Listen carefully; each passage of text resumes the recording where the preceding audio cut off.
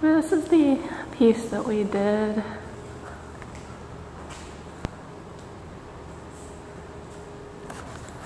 We were mimicking Magdalena Abakanowicz,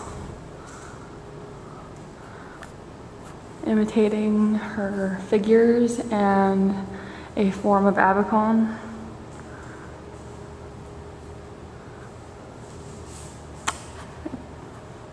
The show will be on Monday.